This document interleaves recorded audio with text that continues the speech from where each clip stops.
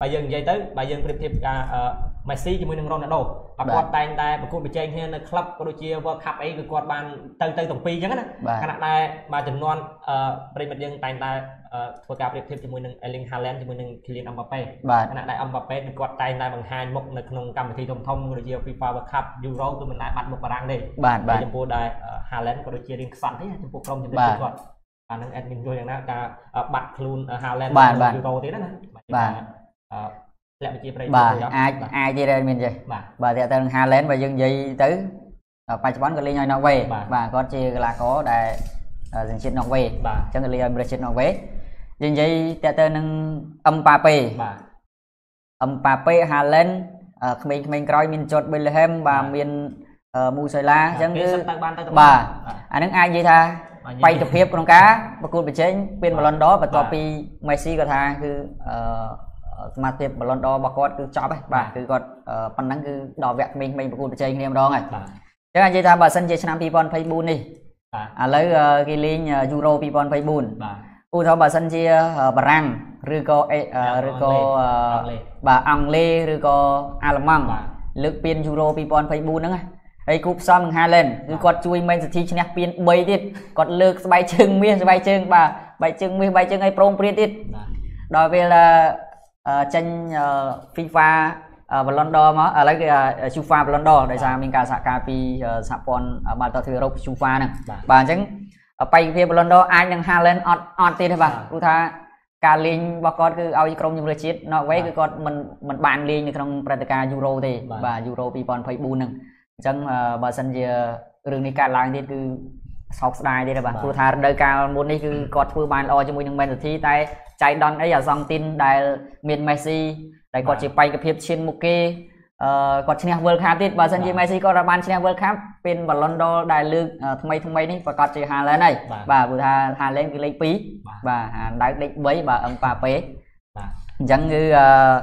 តើទៅនឹងពាន Ballon d'Or មួយនេះ Haaland គឺ តើតែធ្វើយ៉ាងណាធ្វើការប្រកួតប្រជែងយក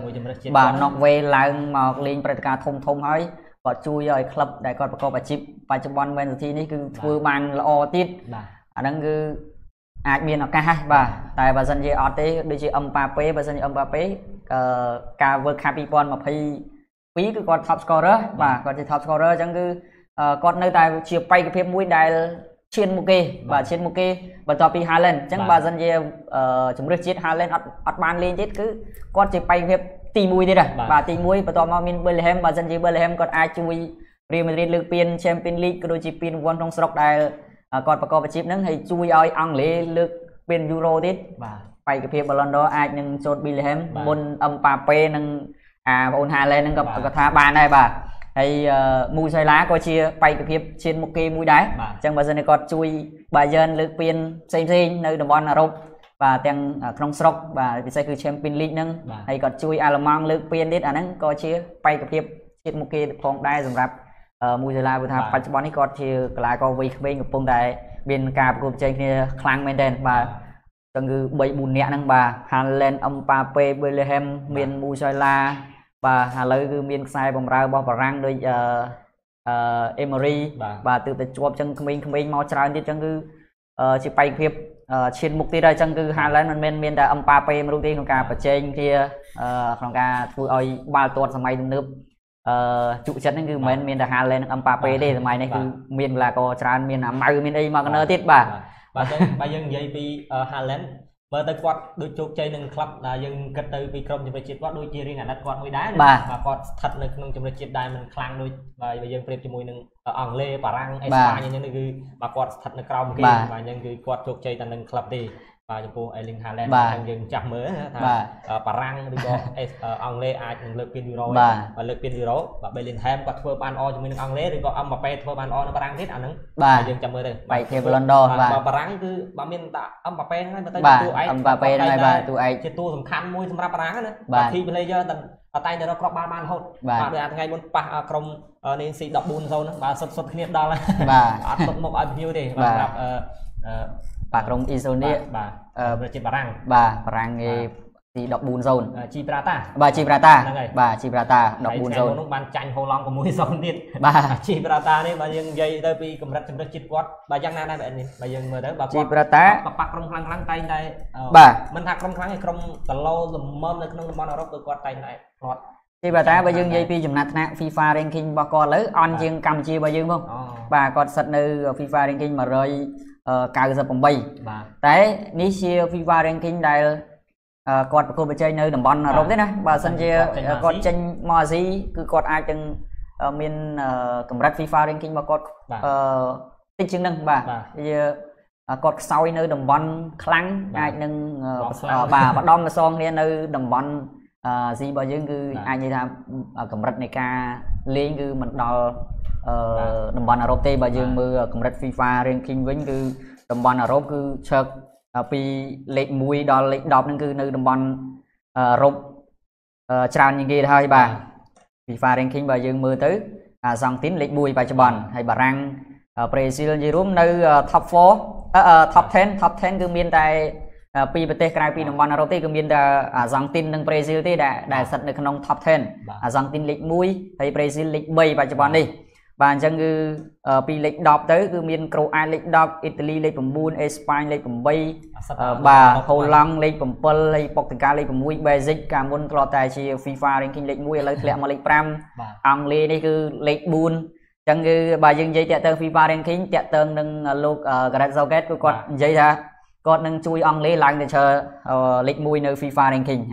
បាច់យកពៀនទេអង់គ្លេសបាទបាទចូល60ឆ្នាំអឺ គាត់លើកពានទាំងឆ្នាំ1966លើកពាន World Cup ដល់ពេលឥឡូវតាន់បានពានអីមួយទេការប្រកួតបាទយូរ៉ូ2020នោះគឺគាត់ប៉ះឡើងវគ្គផ្ដាច់ព្រាត់មកប៉ះអ៊ីតាលីអឺចាញ់អ៊ីតាលីវគ្គពេនទីទៀតប៊ីបានពានហើយនៅទឹកដីអង់គ្លេសទៀតបាទចាញ់អ៊ីតាលីបាទការប្រកួតគឺនៅកីឡាដ្ឋាន Wembley អញ្ចឹងគឺ អឺសោកស្ដាយមែនទេ Hurricane ប្រហែលជា Hurricane ហ្នឹងបាទអង់គ្លេសតតែ Hurricane ចូលនិវត្តន៍ហ្នឹងទេបាទអឺបាទចឹងទៀត fan Hurricane មើទៀតបងប្អូនយើងបាទខ្ញុំក៏ fan Bayern ដែរតែ Hurricane គាត់នៅ Bayern ទេបាទអញ្ចឹងបាទ Hurricane មែនបាទឥឡូវយើងមកក្រុមជំនឿជាតិបាទយើងសូមបញ្ចប់ត្រឹមប៉ុណ្្នេះសិនបាទចាំមើលមានព័ត៌មានអីបាទអាប់ដេត ក្រោយក្រោយទៀតអានឹងចាំយើងលើកឡើងទៀតអញ្ចឹងយើងងាកមកមើលក្រុមក្លឹបវិញម្ដងតទៅនឹង Real Madrid បន្តិចចុះបាទបាទ admin ក៏ឃើញណាបាទពីយើងឃើញថា Real Madrid គឺមានការ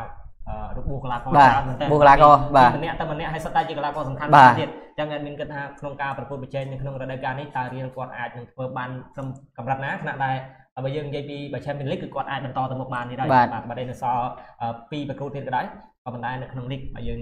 គិតទៅគឺបាទគាត់មិនទាន់នៅកម្ពុជាតារាងទេបាទគឺគាត់ស្ថិតនៅលីក2ទេអញ្ចឹងអេដមីនយល់យ៉ាងណាដែរចំពោះការរបួសកីឡាករសំខាន់ខាន់ពីមួយរូបទៅមួយរូបណាបាទហើយចុងក្រោយនេះគឺអាម៉ាល់បាទវិនស៊ីបាទពីការជួយក្រុមជំនឿជាតិប្រេស៊ីលបាទមានបញ្ហារបួសហ្នឹងបាទបើបើបើយើងនិយាយទៅគឺការសម្រាក cooling break នេះគឺ cooling break ទេអធិស្ឋានគឺបាទ FIFA day ដែល FIFA break នេះគឺ អឺបញ្ហាកីឡាកររបួសច្រើនបាទរបួសច្រើនយើងមើលទៅបាទដូចចំតែរៀលបាទរបួសបើយើងនិយាយទៅការប្រកួតលើកនេះគឺមានបញ្ហារបួសកីឡាករសំខាន់ហើយរបួសអឺម៉ៅរបួសតិចតួចទេវាអាចឆាប់ជាវិញទេសម្រាប់ម៉ៅបាទតែអ្វីដែលយើងងាកទៅលើបញ្ហាកីឡាកររបួសវិញដែលមានភ្ជាប់មកហ្នឹងគឺដូចជាកាវីបាទប៉ាប់ឡូកាវីកីឡាកររបស់ បាសេឡូណាគាត់លេងឲ្យក្រុមជំនួយជាតិអេស្ប៉ាញគឺគាត់មានបញ្ហារបួសដាច់សរសៃជង្គង់ ACL ក៏ជាមានការប៉ះទង្គិចទៅលើទ្រនាប់ជង្គង់របស់គាត់ដែរអញ្ចឹងគឺការសម្រាករបស់គាត់ពី6ខែទៅ8ខែអញ្ចឹងគឺរដូវកាលនេះគឺមានការបញ្ជាក់ហើយពីអនាគតរបស់កាវីគឺចប់ហើយបាទដោយការនេះគឺធីបចោលហើយបាទធីបចោលហើយឃើញបាទអត់មានវត្តមានការវីទេអញ្ចឹងគឺ ទីផ្សាររដូវកីឡាកររដូវក្តៅនេះបាសេឡូណារដូវរដូវល្ងាបាទបាទបាទរដូវល្ងានេះនៅខែមករានេះគឺបាសេឡូណាបានបញ្ជាក់ថាកាវីគឺអត់អាចលេងទេគឺចប់ហើយតែមិនដឹងថារើកីឡាករណាមកមកជំនួសទេបាទជំនួសរោកាវីទេអាចនឹងយកកីឡាករយុវជនដែលកំពុងតែលេចធ្លោឡើងមកឬក៏បន្តប្រើប្រាស់កីឡាករបច្ចុប្បន្នហើយថ្នាបាសេលល្អល្អដែរបាទបាទបាទអាយ៉ាម៉ានេះនេះគឺមកល្អបាទនេះ3 11ឆ្នាំតែសារអានេះវាប្រយុទ្ធដល់វាអាអូនកាវីបាទព្រះរាជបុត្រ កាវីគឺគាត់បម្រើចឹងគឺបានបម្រើល្អណាស់បាទបាទឌឺមានសមត្ថភាពគេបាទតែបាន Frankie De Jong គាត់ជាមកវិញបាទ Frankie De Jong គឺគាត់ជំរុះយូរ៉ូនេះគឺគាត់បានលេងហូឡង់ទេបាទអញ្ចឹងគាត់ជាតនអញ្ចឹងបាសេឡូណារួចមកកម្រិតទៀតឥឡូវយើងតាក់ទងនឹងរៀលម៉ាឌ្រីតដែលបច្ចុប្បន្ននេះកីឡាករបញ្ហារបួសច្រើនដោយអេដមីនជំរាបជូនអញ្ចឹងបានតាំងពីរនាក់បានឲ្យកូនបាទកូន អឺកេប៉ាជាមួយនឹងកោតកេប៉ាលើរបួសដែរបាទរបួសដែរអូចាប់បាទអញ្ចឹងកេប៉ាយកមកថាយកមកជំនួសកោតបាទហើយដល់ឥឡូវមករបួសដេករ៉ាំរៃដល់ពី4ខែដល់5ខែនោះមកសម្រាប់ជាបាទពីការកំដៅសាច់ដុំណាមកការប្រកួតដូចជាទល់ជាមួយក្រុមស្អីនេះការប្រកួតចុងក្រោយនេះបាទមានផ្លេចទៅបាទអេស្ប៉ាញលេងលេងលេងអឺ Champions League Champions League Champions League ចុងក្រោយប៉ះជាមួយ Sporting Braga បាទថ្ងៃរបួសដែរគេប៉ាគាត់កម្ដៅសាច់ដុំនៅលើទីលានបាទមានបញ្ហារបួសគាត់កម្ដៅសាច់ដុំបាទកម្ដៅសាច់ដុំផ្លាត់របួសអញ្ចឹងគឺអ្នកចាំទីរបស់រៀមត្រៀតឥឡូវគឺមានតែ Lunin ទេអញ្ចឹងបាទ Lunin បាទហើយតបថ្ងៃនោះទៅអលោកឡូអាំសទីដាក់ Lunin ចូលដៃទី1ហ្មងបាទគេប៉ាចេញឡាញអាប់មកគេប៉ាដៃទី1កម្ដៅកម្ដៅសាច់ដុំមុនប្រគូនហ្នឹងគឺរបួសគេប៉ាបាទអញ្ចឹងគឺតនបានលេងដូរឡាកម្នាក់បាទបាទបាទអញ្ចឹងគឺតាក់ទងកីឡាកររៀលម៉ាឌ្រីតបើយើងបញ្ហារបួសម៉ៅរបួសហើយបាទ ម៉ៅរបួសកម្មាវិការបាទកម្មាវិការខ្សែការពារគាត់អត់បានជួយបារាំងទេបាទគាត់កោះហៅឲ្យចូលវឹកហាត់បាទចូលវឹកហាត់មួយបារាំងអានេះពេលលេដួលរត់រត់ដួលលើគ្នាម៉ែរបួសអានោះរបួសយូរទៀតបាទអញ្ចឹងគឺម៉ាឡេមកកែមែនបាទនេះម៉ាឡេវាអត់របួសខ្លួនវាវាធ្វើឲ្យគេរបួសបានទៀតហើយនិយាយរួមអើយដល់កហ្មងអូសមែននេះវាលេបាទសារបងអូនហ្នឹងបាទ វាវាជាកីឡាករមួយអាបងឌីមវេលេវាជាកីឡាករដែលងាយនឹងរបួសបាទតែការប្រកួតប្រមូលផ្ដុំលេងឲ្យបារាំងលើកនេះគឺអត់របួសទេតែពេលវឹកហាត់គឺធ្វើឲ្យកម្មាវិការរបួសបានតលបានបាទចេញទៅ PSG ដូចជារៀងកាក់កបអត់លេតែមិនទាន់រកក្របបាននេះទេកាក់កបពីបញ្ហារបួសបាទហើយសម្រាប់កាក់កបក្របបាល់គឺអត់ទាន់ជោគជ័យប្រហែលទេដូចជាការប្រហែលមានបញ្ហារបួសដែរមានការប្រហែលរបួសរបួសបាទ មីលីតោរបួសបាទធីវ៉ាមេនីរបួសបាទសតតែជាកីឡាករ3 3បាទល្អល្អដែរជាជំរឹះបាទជាកីឡាករជំរឹះដំបងហើយថាជាកីឡាករជំរឹះ11នាក់ដំបងក៏ធ្វើការប្រកួតប្រជែងនៅអឺពានរង្វាន់ផ្សេងៗហែមក៏របួសដែរបាទបែលហែមដូចជាប៉ុន្តែចូលមកវិញវិញបាទបាទរបួសមិនយូរពីសប្តាហ៍អញ្ចឹងទៅបាទអញ្ចឹងគឺការប្រកួតរបស់រៀលម៉ាឌ្រីតគឺអូនគូលបាទបាទសើបំរើជាតិទូគីហ្នឹងរបួសដែរ អាបងនោះអត់ដែរឃើញជាគេទេតែទិញមកបាទលបួរហូតបាទ Rodiger ក៏លបួបាទចឹងសិតតែជាអញ្ចឹងសម្រាប់បញ្ហារបួសកីឡាករ Real Madrid បច្ចុប្បន្នគឺច្រើនច្រើនគូផ្សំនឹងកម្មវិធីការលេងបន្តបន្ទាប់របស់ Real Madrid ក៏មានមមាញឹកទាំងពានរង្វាន់ក្នុងស្រុកដូចជាប្រកួតបន្ទាប់នៅថ្ងៃ27នេះបាទថ្ងៃ27គឺត្រូវប៉ះជាមួយនឹងក្រុម Cadiz នៅពានរង្វាន់ La Liga ហើយបន្តមកនៅថ្ងៃ30គឺត្រូវប៉ះជាមួយនឹងក្រុម Napoli បាទអញ្ចឹងគឺ Napoli លេងនៅក្នុងពានរង្វាន់ Champions League អញ្ចឹងគឺប៉ះគីឡូធ្ងន់ដែរតែលេងក្នុងដីខ្លួនឯងហើយនេះជាជាបន្ទុកមួយដ៏ស្មុគស្មាញសម្រាប់លោក Gales Ancelotti បន្តទៀតហើយបាទបន្ទាប់ពី បញ្ហាកីឡាកររបួសសំខាន់សំខាន់ចាំមើលតែគាត់ប្រើប្រាស់យុទ្ធសាស្ត្របែបណាទៀតអ្វីដែលធ្វើឲ្យលោកកលហិនសិលទីជួយក្បាលបំផុតគឺការបញ្ហារបួសកម្មាវិការនឹងតែម្ដងបាទកម្មាវិការព្រោះថាគាត់ជួយបានច្រើនបាទកម្មាវិការគាត់ជួយបានគ្រប់និយាយរួមរ៉ូលគាត់នៅតែចាំបាទនៅតែចាំទីទេបាទឲ្យគាត់ចាំគាត់ចាំបានទៀតចឹងបើសិនជាលូនីនរបួសដាក់កម្មាវិការទៀតឥឡូវកម្មាវិការរបួសទៀតអាចដែរអស់ហាលីងហ្នឹងមានអ្នកចាំទីណាបាទមានកម្មាវិការព្រោះថាយើងមើលមាន clip video របស់គាត់ក៏មានការផុសនៃការតាំងគូនរបស់គាត់ល្អគូសំដែរបាទបាទចលនារ៉ូផ្លេច reflex របស់គាត់ក៏លឿនលះដែរកីឡាករបារាំងល្អល្អណាបាទដូចជីរូតជីអីបាទលេងបានច្រើនរ៉ូលហើយបាទបាទហើយប្រកួតបន្ទាប់បន្តបន្ទាប់ទៀតនៅក្នុងខែក្រោយនេះគឺគាត់ត្រូវជួបជាមួយនឹង Grenada Real Betis ហើយពានរង្វាន់ Champions League ជាមួយនឹង Union Berlin អឺ ជាមួយនឹង Valeria និង Deportivo Alves បាទអញ្ចឹងបើនៅក្លឹបនៅ league គាត់រៀងស្រាលស្រាលទេបាទ league league អាចនិយាយថាជាមើមមើមទេបាទបាទដូចជា Real Betis បច្ចុប្បន្នក៏មិនសូវធ្វើបានល្អដូចជា Valeria ក៏កំពុងតែដុតដាបដែរ Valeria ឥឡូវគឺរៀងធ្លាក់តម្រង់លេងបន្តិចតែដោយសារគាត់រៀងធូរដោយសារគាត់អត់មានពានរង្វាន់ Copa del Rey លេងបាទ គាត់មានពានរង្វាន់ Copa del Rey លេងអញ្ចឹងគឺគាត់ងាយស្រួលហើយណាមួយ Champions League គាត់អាចដកឃ្លៀបានវែងណាបាទព្រោះអីគាត់ឡើងហើយមកពីបាទបាទគាត់អីដែរបាទអញ្ចឹងគឺអានេះជារឿងមួយដែលកាត់បន្ថយសម្ពាធខ្លះសម្រាប់លោក Carlos Ancelotti និយាយរួមលោក Carlos Ancelotti បើដឹកនាំរៀលមិនបានឡើងទៅវគ្គបន្តអីឬក៏ ចាញ់ត្រឹមវគ្គ16ក្រុមក៏នៅការក្រោយក៏គាត់ចាក់ចេញដែរបាទគឺគាត់ទៅដឹកបាទគាត់ទៅដឹកនាំក្រុមជម្រើសជាតិប្រេស៊ីលវិញម្ដងបាទគាត់ថាប្រេស៊ីលបច្ចុប្បន្នបាទធ្លាក់ប្រេស៊ីលតាំងពីលប៊ូសណេម៉ាមកចាញ់រហូតបាទចាញ់ក្រុមអឺក្រុម B បាទបាទចាញ់អុយរកាយបាទចាញ់អុយរកាយចាញ់ចុងក្រោយចាញ់សង់ទី1 0ហ្នឹងនៅក្នុងដីឯងបាទអានេះអញ្ចឹងសម្រាប់លោកកលហិនសេទី គាត់មិនមានសម្ពាធទេជាមួយនឹងក្នុងការប្រកួត UCL គឺថាគាត់ឡើងហើយអ្វីត្បិតតែសល់ពីប្រកួតក្នុងដៃមែនតែគាត់កក់កៅអី16ក្រុមរួចរាល់ហើយមុនគេដោយសារគាត់ធ្វើបានអអញ្ចឹងគឺជារឿងសំណាងមួយសម្រាប់អឺរៀលម៉ាឌ្រីតគឺជារឿងដ៏ល្អមួយសម្រាប់អ្នកគ្រប់គ្រងរៀលម៉ាឌ្រីតដែរអញ្ចឹងវាមិនសូវមានសម្ពាធប៉ុន្មានទេអ្វីដែលត្រូវគិតគឺធ្វើយ៉ាងណាអឺលេងនៅក្នុងខែខែនេះហើយខែក្រោយនេះ ធ្វើយ៉ាងណាគឺយកបន្ទុកនៅក្នុងលីកឲ្យបានល្អគូសមព្រោះថាប៉ះក្រុមគីឡូល្មើល្មើដែរទេបាទបន្ទាប់នេះខ្ញុំសុំទៅរៀនតិចបាទយើងនិយាយលក្ខណៈថាលេងសើចហ្នឹងបាទយើងបន្ទាប់ពីឃើញបាក់ឡាកោបាសេឡូណាក៏ដូចជារៀលម៉ាឌ្រីតបានល្បោះច្រើនអាក្នុងនោះជីរ៉ូណាបាទរៀងគេរៀងនេះបន្តិចណាបាទមានទឹកមាត់លើបន្តិចគណៈបច្ចុប្បន្នគឺបើមានតែរៀលម៉ាឌ្រីតជាមួយនឹងបាសេឡូណានេះដែលជាគូប្រជែងនឹងជីរ៉ូណាហើយមកបច្ចុប្បន្ន កីឡាកររបួសច្រើនអញ្ចឹងជីរណាគេអាចហើយយើងទៅបាទបើថាជីរណាឥឡូវលេខ1ដែរបាទលេខ1បាទដាច់បន្ទុកពីរៀលមក2បន្ទុកហើយបាទដាច់បន្ទុកពីបាសេឡូណា4បន្ទុកនោះបាទអញ្ចឹងតារៀលហើយបាសេឡូណាផ្លត់ចាញ់ឲ្យមកប្រកួតពីប្រកួតបាទអញ្ចឹងសាគ្រប់ហើយហើយគូផ្សំកីឡាកររបស់ជីរណាអត់មានកីឡាករណាដែលត្រូវលេងរបួសឲ្យជំរឿជាតិទេបាទបាទអញ្ចឹងហាមត្រូវមើលមិនឃើញបាទជីរណាអាចធ្វើរឿងដែលភ្ញាក់ឲ្យដូច Leicester អញ្ចឹងទេបាទវាអាចដែរបាទព្រោះថាកម្រិតនៃការប្រកួតប្រជែងនៃលីកកំពូល តំបន់អឺរ៉ុបគ្រប់លីកឥឡូវគឺมันដូចមុនទេទេបាទដូចជាមានការប្រែប្រួលសឹងថា90ដឺក្រេខុសពីពី3ឆ្នាំមុនពី3ឆ្នាំមុនគឺมันមានបាទมันមានក្រុមណាប្រកួតប្រជែងមានអេតមានអីហ្នឹងបាទអញ្ចឹងគឺសម្រាប់រៀលម៉ាឌ្រីតនៅការនេះ Champions League មកបញ្ហាល្បួនហ្នឹងគឺ រួចរាល់បាទរួចរាល់ហើយបាទអញ្ចឹងគឺនៅតែក្នុងលីកបាទនៅក្នុងលីកបាទអញ្ចឹងយើងដូចច្រើនហ្នឹងមានទេបាទច្រើនទេបាទគូផ្សេងផ្សេងនៅចុងសប្តាហ៍គឺមានច្រើនអញ្ចឹងទុកឲ្យអឺបងម៉ូម៉ូក៏ដូចជាបងអ៊ីមីនរ៉ុបនៅថ្ងៃស្អែកបន្តព្រោះថាស្អែកយើងមានកម្មវិធីផ្សាយផ្ទាល់បន្តទៀតផ្ដល់ជូនព័ត៌មានអាប់ដេតជូនបងប្អូនយើងបាទបន្ថែមទៀតបាទកុំភ្លេចនិយាយបាល់អឺរ៉ុបបាទអត់ភ្លេចទេ brother អឺបាល់លីកអារ៉ាប់លេងថ្ងៃណាបាទលេងអាទិត្យនឹងទាំងអស់វិញហើយបាទ អឺនិយាយពីនិយាយពីប្រេស៊ីលនឹងអសង់ទីនតិចមកបាទអ៊ីមីនបានតាមដាននេះបាទអសង់ទីនមួយប្រេស៊ីលបាទបានតាមដានតែបើកមកហូហាកន្លែងគេវាយគ្នាបាទបាទដឹងមានមូលហេតុអីណាបាទខ្ញុំចូលមកបាទគេនេះបានចិត្តចប់អាកន្លែងគេខាត់គ្នាបាទហើយបាទឃើញបាទអញ្ចឹងយើងបញ្ចប់នៃព័ត៌មានកីឡាជាតិរបស់យើងប៉ុណ្ណឹងហើយបងប្អូនយើងដែលចង់បានអាវកីឡាអីគឺងាយស្រួលទេបងប្អូនយើងបាទធ្វើតាមលក្ខខណ្ឌដែល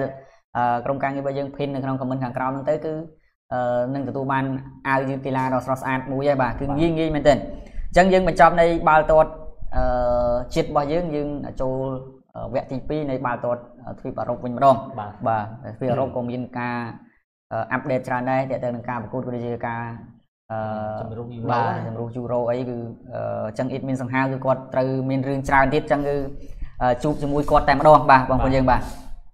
បាទតោះដល់ពេលមិត្តយើង បាទបន្ទាប់ពីបាទការសម្រាប់បាទ FIFA ដែរបាទថាតែក្រុមជម្រើសជាតិនៅណាទេបាទគឺតែងតែគឺមានការប្រកួតបាទសពគ្រប់បាទមិនថាថាអុយ17អីនេះបាទអុយ17លេង World Cup ណាបាទបាទ Cup អុយ17នៅដែរប្រទេសឥណ្ឌូនេស៊ីធ្វើជាម្ចាស់ផ្ទះហ្នឹងក៏ឡើងមកដល់វគ្គមួយដែរដែរនេះដែរប្រិមិត្តយើងវគ្គចូលវគ្គក្រុម3ក្រុមហើយបាទបាទរកឃើញហើយអញ្ចឹងយើងចាំមើលតើតើបាទក្រុមណាដែរគាត់ជំរឿសជាតិណាដែលអាចនឹងលើកពីណាបាទអញ្ចឹងយើងអែនមានសុំជម្រាបជូនកន្លែងនេះតិចចុះ បានយើងឃើញថាបាននៅក្នុងគិតមកដល់ពេលនេះអុយ17បាទក្រុមជំរឿសជាតិទាំង8បានឡើងមកដល់នេះគឺបាទក្នុងនោះគឺប្រេស៊ីលត្រូវប៉ាអសង់ទីនទៀតបាទនៅវគ្គ8ក្រុមយើងក្រោយអញ្ចឹងយើងមើលអាធំក្រុមធំប៉ះគ្នាហើយមានរឿងប៉ុណ្្នឹងចាំមើលក្រុមតូចបាទនេះវាធ្វើឲ្យបាទមានការចាប់អារម្មណ៍ដល់ក្រុមតូចប៉ះគ្នាទៀតបាទបាទបាទរវាងអឺ ប្រេស៊ីលត្រូវប៉ាសង់ទីនបាទអញ្ចឹងជាការប្រកួតដ៏ធំមួយដែរបាត់អីអុយមែនក៏មិនដែរយើងចាំមើលបាទការប្រកួតនឹងនឹងតាក់ទាញហើយបាទក្នុងនោះគឺអេស្ប៉ាញត្រូវប៉ះជាមួយអាល្លឺម៉ង់ទៀតបាទអូឃីងឃីងនៅអឺរ៉ុបប៉ះគ្នាហើយឃីងនៅតំបន់ឡាទីនប៉ះគ្នាហើយបាទសិតតែឃីងបាល់ទាត់ទាំងទាំង4ប្រទេសហើយចឹងគឺប៉ះគ្នានៅបាទមកមកខាងណាបាទមកមកជារៀងគណៈគណៈដែរបារាំងរៀងស្រាលបន្តិចប៉ុន្តែសំអញរៀងយ៉ាប់ចង់យ៉ាប់ជាមួយសេនីហ្កាល់ដែរបារាំងបាទយកឈ្នះបាល់ពេជាមួយឈ្នះពេបាទឈ្នះពេ5ទល់3បាទបាទ ចឹងបារាំងគាត់ត្រូវប៉ះជាមួយនឹងអូបេគីស្ថានក្រុមនៅក្នុងអាស៊ីយើងមានតែមួយហ្នឹងទេបាទបាទអូបេគីស្ថានដែលឡើងវគ្គ4ក្រុមឡើងដល់វគ្គ8ក្រុមបាទវគ្គ8ក្រុមជប៉ុនបាទអេរ៉ង់អីគឺបាត់ទៅអស់ហើយបាទជប៉ុនចាញ់អេស្ប៉ាញបាទចាញ់អេស្ប៉ាញហើយយើងមើលទៅមានតែជប៉ុនយើងគិតថាមានតែមមានអែមជាងគេមើលទៅបាទដល់ពេលចាក់ស្រែងមកបេគីស្ថានវិញបាទខ្ញុំគិតថាអេរ៉ង់នេះក៏ល្អដែរក៏បែអេរ៉ង់បានអឺមកផ្លាក់ស៊ីម៉ូន ម៉ារុកបាទសូននេះណាបាទឲ្យម៉ារុកតាមថៃបានកុំអីបានអាស៊ី2បាត់បាទឡើងវគ្គ8ក្រុមតែចាក់ស្ដែងគឺឡើងបានតែមួយទេបាទឡើងបានមួយប៉ះជាមួយបារាំងនេះប៉ះជាមួយគីឡូធ្ងន់ទៀតបើបែគីស្ថានបាទបែគីស្ថានទម្លាក់អង់គ្លេសបាទទម្លាក់អង់គ្លេសហើយចូលលេងមើលងារបានអង់គ្លេសសិតមកពីបាទថ្នាបាទក្លឹបល្បីល្បីបាទក្លឹបធំធំបាទហើយបាទមកគូទៀតនោះគឺបាទម៉ាលីបាទទៅប៉ះជាមួយនឹងម៉ារុកបាទនៅវគ្គ8ក្រុមចុងក្រោយនេះបាទអញ្ចឹងយើងចាំមើលថាតើ ក្រុមណាអាចឡើងទៅវគ្គបន្តបានណាគណៈដែលការប្រកួតហ្នឹងគឺបាទលេងនៅថ្ងៃស្អែកហើយបាទលេងថ្ងៃស្អែកបាទថ្ងៃស្អែកគឺបាទអេស្ប៉ាញត្រូវប៉ះជាមួយនឹងអាល្លឺម៉ង់នៅម៉ោង3:30នាទីបាទហើយបាទប្រេស៊ីលជាមួយនឹងអាសង់ទីនហ្នឹងគឺម៉ោង7បាទថ្ងៃស្អែកនេះបាទបាទអញ្ចឹងអឺពុកម៉ែបងប្អូនយើងចាំតាមតាមទស្សនារបស់គ្នាណាអានេះគឺជាការប្រកួតបាទ World Cup បាទពានរង្វាន់បាទអាយុក្រោម17ឆ្នាំមានការចាប់អារម្មណ៍ដែរបាទអញ្ចឹងបាទត្រឹមប៉ុណ្្នេះសិនបាទយើងងាកមកមើលអឺរ៉ុបវិញម្ដងបាទបាទ អឺរ៉ុបបាននៅក្នុងការប្រកួតជំរុះយូរ៉ូក៏បានបានបញ្ចប់អឺទាំងស្រុងដែរប៉ុន្តែនៅឡើយតែការ play off ជាបន្តដែលត្រូវរកក្រុមប្រគ្រប់បន្ថែមទៀតណាបាទហើយគណៈនោះគឺយើងបានរកឃើញក្រុមទាំង20 21បាទរកឃើញ21សិនបាទនៅក្នុងការឡើងទៅទៅកាន់ប្រទេសអាល្លឺម៉ង់ឆ្នាំ2024បាទនៅក្នុងនោះគឺយើងឃើញថាក្រុមដែលខ្លាំងខ្លាំងក៏ប្រទេសមកខ្លាំងខ្លាំងនោះក៏បាន ក៏មានវត្តមានទៅនៅប្រទេសអាល្លឺម៉ង់2024ដែរនៅក្នុងនោះគឺក្រុមដែលលេខ1នោះគឺមានអាល្លឺម៉ង់ជាម្ចាស់ផ្ទះគេអត់រាប់ទេបាទដែលស្ថិតនៅក្នុង port A ដែរណាបាទហើយក្នុងនោះគឺមានបាប៉តកាល់បារាំងអេស្ប៉ាញបែលសិចអង់គ្លេសអីហ្នឹងបាទសិតតែជាគីឡូធ្ងន់ធ្ងន់ឡើងទៅហើយបាទយើងនឹងយ៉ាងណាយ៉ាងណីទេខណៈដែរបើយើងងាកទៅមើលការជំរុះដល់គួរឲ្យចាប់អារម្មណ៍តិចណាបាទគួរជំរុះជាបាប៉តកាល់បាទបាប៉តកាល់គឺអាជំរុះគឺអត់ដែរចាញ់ទេបាទនៅក្នុងពូល បាទគឺនៅក្នុងពូលរបស់គាត់ណាបាទគឺក្នុងនោះគឺឆ្លងកាត់10ប្រកួតបាទឈ្នះទាំង10តែម្ដងបាទសម្រាប់ជំរុះជាប៉តកាល់ហើយមាន30បន្ទុកពេញតែម្ដងបាទយើងល្អមែនទេបាទសម្រាប់ប៉ូទុយហ្គាល់បាទហើយក្រុមដែលលេខ2នៅក្នុងពូលគាត់ហ្នឹងគឺស្លូវ៉ាគីបាទបាទស្លូវ៉ាគីអញ្ចឹងហីបាទស្លូវ៉ាគីបាទឡើងទៅជាមួយប៉ូទុយហ្គាល់បាទហើយអញ្ចឹង ហើយយើងចាំមើលថាតើប៉ូទុយហ្គាល់អាចបន្តភាពខ្លាំងរបស់ខ្លួនបានដល់ពេលណាទៀតណាបាទតែនៅក្នុងពូលគាត់ហ្នឹងគឺគីឡូមើលមើលមែនទេយើងអញ្ចឹងយើងអាចនិយាយថាបើគិតពីកម្រិតរបស់ប៉ូទុយហ្គាល់គឺគាត់អាចខ្ពស់ជាងគេបន្តិចបាទអញ្ចឹងនេះគឺជាការជំរុះដ៏ល្អមួយមកការចាប់ផ្ដើមដ៏ល្អពីសំណាក់គ្រូបំផឹកបាទលោកអឺម៉ាទីណេសណាបាទរ៉ូបេតូម៉ាទីណេសបាទសញ្ជាតិអេស្ប៉ាញមិនដឹងយ៉ាងណាបើសិនជាប៉ូទុយហ្គាល់ប៉ះអេស្ប៉ាញហ្នឹងគ្រូគាត់គិតមិនហ្នឹងណាអត់ជំរុះបាទ វាអត់អត់មានអីត្រូវនិយាយទៅនឹងសញ្ជាតិអីរបស់គាត់ទេបាទតើទៅនឹងការអត់ទេដឹកនាំគឺទៅទៅបាទធម្មតាជនជាតិមួយតែតែមានភាពស្នេហាជាតិតែតែចង់ឃើញក្រុមជម្រើសជាតិបន្តខ្លួនឯងជោគជ័យបើសិនជាអេដមីនគិតមិនបើសិនជាអេស្ប៉ាញត្រូវជួបប៉ូទុយហ្គាល់នៅវគ្គសំខាន់ណាមួយឧទាហរណ៍លើយើងគិតពីវគ្គសំខាន់វគ្គចាញ់ធ្លាក់16ក្រុមវគ្គ8ក្រុមវគ្គ4ក្រុមឬវគ្គម្ដេចគ្រាន់អីចឹងអានឹងវាស្ពីតមួយក៏ខ្លាំងដែរណាបាទបើយើងនិយាយទៅចេះ វាមានរឿងត្រូវនិយាយទាំងសងខាងបាទបាទយើងសួរទៅឧទាហរណ៍ថាឥឡូវលោក Roberto Martinez គាត់ជាជនជាតិអេស្ប៉ាញបាទបាទគាត់ដឹកនាំប៉ុកទីកាល់បាទហើយស្រាប់តែការប្រកួត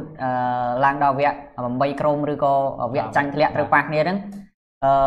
អេស្ប៉ាញបច្ចុប្បន្នក្រុមការដឹកនាំអឺគ្រូអេស្ប៉ាញគ្រូគ្រូដឹកនាំលើបច្ចុប្បន្នបាទសញ្ជាតិអេស្ប៉ាញលោកអឺលូអ៊ីសបាទ លោកឡាវីសហ្វុនតេបាទអញ្ចឹងគឺគាត់សញ្ជាតិអេស្ប៉ាញដែរបាទអេស្ប៉ាញបាទអញ្ចឹងយើងត្រូវនិយាយថាដល់ប៉ះគ្នាអញ្ចឹងតើលោករ៉ូបេតូម៉ាទីនេសគាត់បធូរឲ្យអឺអេស្ប៉ាញទេដើម្បីជាតិរបស់ខ្លួនព្រោះថាគាត់ជាជនជាតិអេស្ប៉ាញដែរបាទរឿងវាយើងទៅសួរអេស្ប៉ាញសិនបាទតើអឺលោករ៉ូបេតូម៉ាទីនេសហ្នឹងអឺ គាត់អត់ល្អឬក៏យ៉ាងម៉េចបានគាត់មិនសម្រេចចិត្តយកលោករ៉ូបេតូម៉ាទីនេសក្នុងការមកដឹកនាំក្រុមជម្រើសជាតិអេស្ប៉ាញបាទបាទអញ្ចឹងគឺការលេងនេះมันមានអ្វីជាសម្ពាធសម្រាប់លោករ៉ូបេតូម៉ាទីនេសទេព្រោះថាអឺគាត់គាត់បើកចំហក្នុងការចូលរួមដឹកនាំជំរឿសជាតិរបស់ខ្លួនតែសំខាន់គឺ សហព័ន្ធបាល់ទាត់អេស្ប៉ាញហ្នឹងគឺគាត់ពេញចិត្តគាត់អត់បាទបើអត់ពេញចិត្តហ្នឹងគាត់ទៅដឹកនាំសមត្ថភាពរបស់គាត់គេឃើញគាត់ដឹកនាំល្អគេយកគាត់ទៅដឹកនាំបាទមិនថាចិត្តសាសណាទេតែគេផ្ដល់តម្លៃមកយើងគឺយើងត្រូវតែផ្ដល់តម្លៃទៅគេវិញហើយបាទនេះទាំងខ្ញុំបាទផ្ទាល់អានេះជាការយល់ឃើញរបស់ខ្ញុំបាទផ្ទាល់តែសម្រាប់ admin ក៏លោប៉ះអឺប្រទេសកំណើតខ្លួនឯងហើយអត់ទេដើម្បីជាតិយើងសុខចិត្តអឺ បាទធូរថយលក្ខសមត្ថភាពដូចជាក្រុមដែលផ្ដល់សេចក្តីទុកចិត្តមកយើងបាទជំរឹះជាតិនិយាយរួមគឺគេផ្ដល់ជាតិមកឲ្យយើងបាទក្នុងផ្នែកបាល់ទាត់នឹងមកឲ្យយើងហើយដល់ពេលយើងធ្វើអញ្ចឹងអាហ្នឹងបើបើតាមមានមានថាបធូក៏បធូទៅតែសម្រាប់ខ្ញុំគឺអត់ទេតែគេផ្ដល់សេចក្តីទុកចិត្តគេផ្ដល់តម្លៃមកយើងមិនថាជាតិសាសនាទេបាទគឺយើងត្រូវតែផ្ដល់តម្លៃជូនគេវិញបាទបាទអញ្ចឹងគឺលោករ៉ូបេតូម៉ាទីណេសក៏ដូចជាប៉ះអេស្ប៉ាញគឺគាត់ខ្ញុំជឿថាគឺគាត់មិននេះទេគឺគាត់រៀបតាមយុទ្ធសាស្ត្ររបស់គាត់បាទ ឈ្នះក៏ឈ្នះបាទមិនឈ្នះអឺក៏មិនមែនជារឿងបើឈ្នះទៅក៏មិនមែនជាជាជាកំហុសរបស់គាត់ដែរព្រោះថាជំនឿជាតិអេស្ប៉ាញមិនបានជ្រើសរើសគាត់ផងបាទប៉ុកតេកាល់គាត់អ្នកជ្រើសរើសបាទអញ្ចឹងអានេះជាការជ្រើសរើសរបស់អឺសហព័ន្ធបាល់ទាត់អេស្ប៉ាញផ្ទាល់បាទជាការផ្ដល់មតិរបស់អ្នកគ្រប់គ្រងផ្ទាល់អាហ្នឹងគឺជារឿងរបស់អេស្ប៉ាញទេបាទអញ្ចឹងគឺសម្រាប់អាយុកំណត់របស់ខ្ញុំគឺប៉ុណ្ណឹងបាទហើយមានមានអី សួរបន្ថែមទៀតបាទអត់អីអានេះមានគាត់បានស្រាយអស់ណាហើយលោកប្រិមិត្តយើងគាត់ឆ្ងល់ថាបើគ្រូបង្វឹកគាត់កាលប៉ះគ្រូគាត់សញ្ជាតិអេស្ប៉ាញអញ្ចឹងទៅបាទហើយឡើងដល់វគ្គផ្ដាច់ត្រាត់ឬក៏វគ្គសំខាន់សំខាន់ធ្លាក់ទៅប៉ះអេស្ប៉ាញទៅដឹងយ៉ាងណាក៏ប៉ុន្តែបើយើងគិតទៅវគ្គសន្សំទុកគឺអត់ប៉ះទេបាទដោយសារតែអេស្ប៉ាញគាត់ស្ថិតនៅក្រុមលេខ1ក្នុងពូលបាទលេខ1ក្នុងពូលបាទអញ្ចឹងការចាប់ឆ្នោតបើរូបមន្តដូចតែ UEFA Champions League បាទគេបែងចែកភុតបាទភុតបាទភុត A ហ្នឹងគឺជាក្រុមលេខ1ទៅបាទភុត2បាទក្រុមលេខ2ទៅបាទហើយភុត3ជាក្រុមលេង play off អញ្ចឹងទៅបាទលេង play off រៀងរៀងមកតាមដំណាក់កាលទៅបាទអ្វីដែលសំខាន់នោះយើងបាទនៅក្នុងបាទជំរុំយូរ៉ូនេះក៏មានការចាប់អារម្មណ៍មួយទៀតបាទគឺពោះបាទបាទ Norway បាទអញ្ចឹងបើយើងបើនិយាយពី Norway ច្បាស់ជាប្រិមិត្តយើងដឹងហើយបាទគឺមាននៅក្នុងនោះគឺមានបាទមនុស្សយន្តម្នាក់ដែរបាទបាទស្ដេចសុទ្ធណាបាទពោះ Erling Haaland ក៏ដូចជាខ្សែបម្រើដ៏ល្អកំពុងតែឡើងកោតខ្លាំង Martin Odegaard បាទចឹង Norway គឺគាត់អស់ភារកិច្ចត្រឹមនេះហើយបាទសម្រាប់ក្រុមជម្រើសជាតិក្នុងការបន្តដំណើរជាមួយនឹងពានរង្វាន់យូរ៉ូបាទទៅកាន់ឆ្នាំ2024ដែលរបស់គាត់ជាម្ចាស់ផ្ទះហ្នឹងគឺបាន Norway ទៅចប់ត្រឹមនេះហើយអញ្ចឹងសោកស្ដាយមែនតើបាទចំពោះ Erling Haaland បាទសម្រាប់ Erling Haaland គឺគាត់បាទខ្ញុំនៅថាបើការជួយការដែលគាត់ទេណាបាទក្នុងការជួយក្រុមជម្រើសជាតិរបស់គាត់គឺមិនទាន់ធ្វើបានល្អទេបាទការពីឆ្នាំ 2022បាទ Norway មិនមានកៅអីក្នុងការលេងនៅក្នុងពានរង្វាន់ FIFA World Cup ទេបាទហើយបានជ្រុះចេញនៅក្នុងតំបន់អឺរ៉ុបណាបាទគឺហើយបន្តមកឆ្នាំ2024នេះបាទ Norway គឺនៅតែបន្តធ្លាក់នៅក្នុងការប្រកួតជំរុះបាទពានរង្វាន់បាទ Euro 2024ទៀតបាទអញ្ចឹងបាទត្បិតអីបាទ Norway ដែលមានកីឡាករសំខាន់សំខាន់មួយចំនួនហើយបច្ចុប្បន្ននេះ Norway កំពុងតែឡើងកោតខ្លាំងបាទចំពោះកីឡាករដែលគាត់លេងតាមបណ្ដាក្លឹបណាដូចជា Martin Odegaard Erling Haaland អីចឹងទៅបាទគឺមានកីឡាករល្អៗក៏ប៉ុន្តែបាទពួកគាត់នៅតែមិនអាចជួយឲ្យក្រុមជម្រើសជាតិគាត់ឡើងទៅកាន់ពានរង្វាន់ Euro នៅឆ្នាំ2024បានទៀតបាទតែពូលគាត់នៅនឹងគឺមិនដូចជាក្រុមមកល្មមល្មមដែរទេបាទក៏ប៉ុន្តែបាទគាត់មិនស្ថិតនៅក្នុងក្រុមដែលលេខ3ដើម្បីមានកៅអីឬក៏